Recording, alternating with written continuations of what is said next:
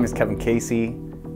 Uh, I am a fine artist and I've been doing this for the past nine years and I've just been trying to make a difference, do something different. I want to be the same, I want to evolve, constantly trying to evolve, constantly trying to make something that nobody has seen. And I think in this world, I see a lot of the same stuff. And that's what gets the hype, which, yeah, it's frustrating. I think it's frustrating for any artist trying to do something different to try to make a difference. When people want to stay so stuck in one generation, you know, change is scary. I guess, for some people. I meditate a lot. That's where I get all my inspiration. Uh, I think sometimes people could get misled and think that drugs create a lot of creativity. I mean, a lot of idols of musicians or artists or whatever, they did a lot of drugs, but I kind of want to pave the way for a different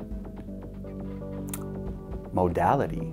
You know, it's not the drugs or it's not, you know, some sort of substance that can create for an artist. It is them.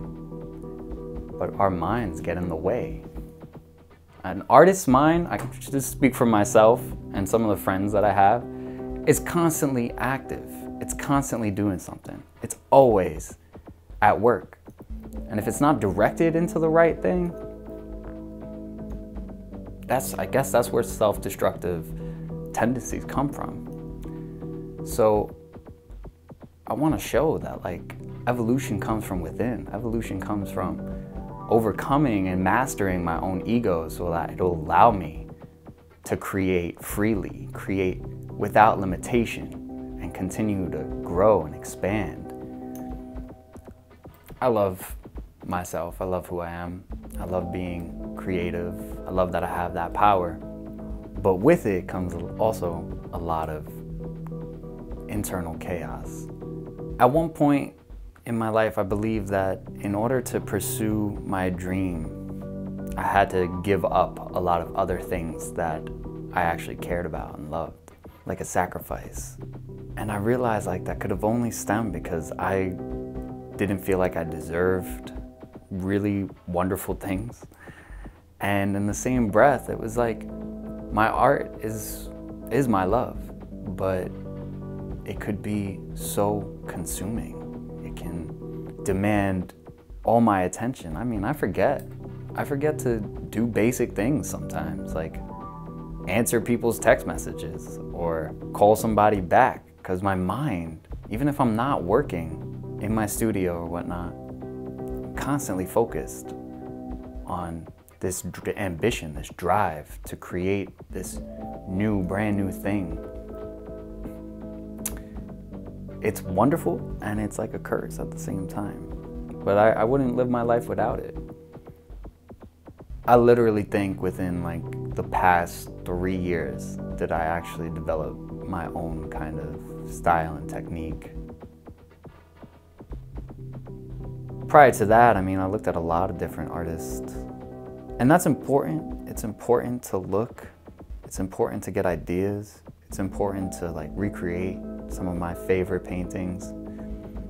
But I think taking what I need and leaving the rest is more important than trying to make something like my favorite artist, you know? It's like it's like they're all in my pocket and I'll pull out what I need from them in order to create something that's originally mine.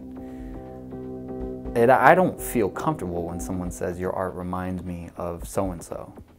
Like, I don't like that. But I do love when people say, I know your artwork immediately when it shows up in my, my Instagram feed or whatnot. Like, that's so satisfying.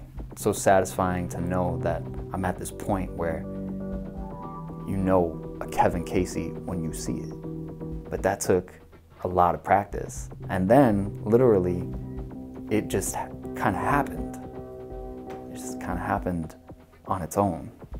as I continued to strive for it.